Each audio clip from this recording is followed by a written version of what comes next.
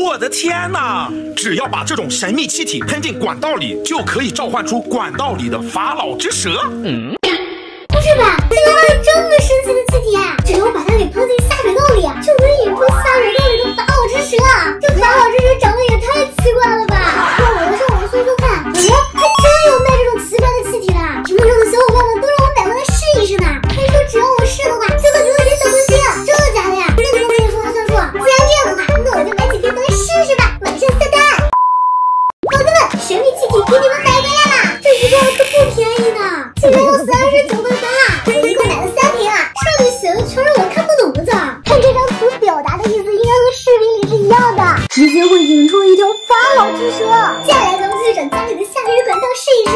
咱们能不能引蛇出洞。首先我们来看家里的一号管道，就是这个厨房的水池啊，平时的厨余垃圾啊都从 这个坑里下去了。咦，可是啊，真的很脏啊，里面。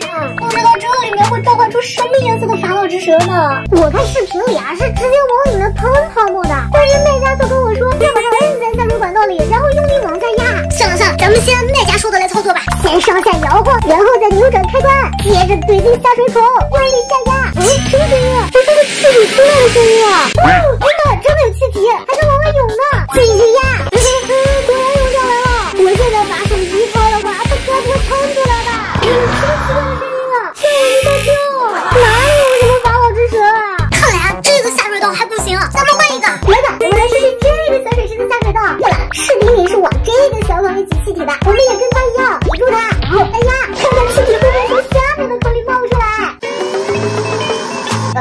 么感觉好像快用完了呀？继续。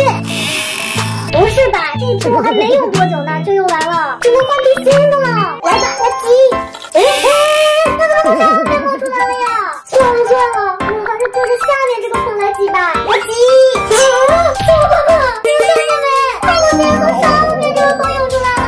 哇，这里真的像蛇一样哎！哎呀，别吓人了！为什么我引出来的法老之蛇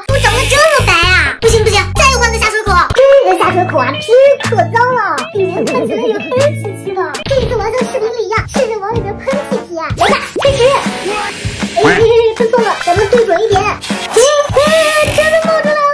嗯，越冒越多啊！别别别别，我以为瞬间真的是法老之蛇。再来一次，出来了出来了。哎，又变成了一大坨。怎么感觉这法老之蛇就像是便秘了一样啊？对了，阳台这里还有一个平时洗拖下水口，这个下水口看起来也不是很干净啊。于是我对着它一顿操作，结果又出现了一大坨奶油蛋糕，半点法老之蛇的影子都没看到。刚才看到评论区有个小伙伴说，下水道得越脏才越有效果。看来我刚才选了几个下水道还不够脏啊！既然这样的话，那我就不得不祭出我的绝招啦！就是这个隔壁邻居家的下水管道。哎呀妈呀，听说它已经